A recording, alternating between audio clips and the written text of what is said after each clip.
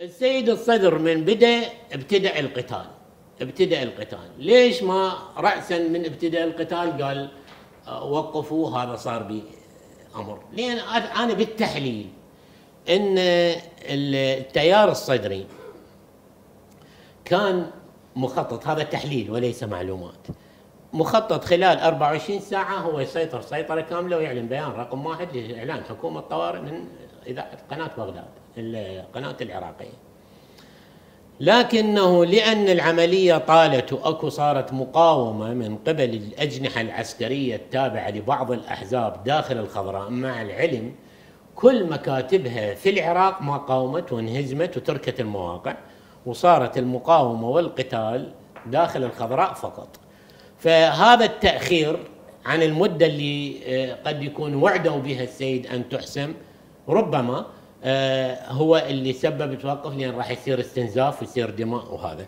فعليه إنه الإعلان اللي صار الإعلان هذا آه، كان آه، أعتقد هو مخطط أن يتغير النظام. والدليل لو تلاحظين تنظيم التيار الصدري في هذه الليلة. اولا فتحت مواقع بالتليجرام راسا أعدادهم 300 ألف وأكثر. رأسا تنظيم توجيهات منطقة بمنطقة كل واحد بواجبه. المكاتب استهدفت بشكل عاجل وسريع ما إجت عشوائية كلها التمت بالخضراء. كل من راح في واجب يعني عملية منظمة دقيقة متعوب عليها. مو الأمر جاي شكل يعني عشوائي أو آه، بدون دراسة أو بدون. كانت مرتبة ومنظمة لكنها آه، ما اكتملت بالضمن ال 24 ساعة وربما ربما اجت نصيحة شرعية من داخل بس هي حقنة الدماء أستاذ عامر. هذا نعم الهدوء نعم خطاب السيد الصدر. حقن الدماء رجع الحياة إلى طبيعتها ببغداد. نعم. شلت الحركة في بغداد وأنت شفت. شلت الحركة بس أنت بس خلي في بالك. لو العملية تمت قبل الواحده ظهرا اللي أعلن السيد ايقافها لو حسمت قبل هذا الوقت كان آه، قطب كبير من أقطاب الفساد انتهى بالعراق.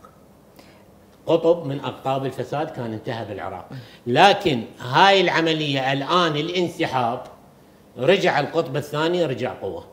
لاحظي في ليلة الأحداث المسلحة اللي بالليل شنو قام يسوي الإطار؟ قام يستنجد. مستعدين للتفاوض نرجو من السيد مقتدى الصدر التفاوض يعني شوف الإطار شنو؟ الإطار من يقوى التيار يستسلم ويتنازل.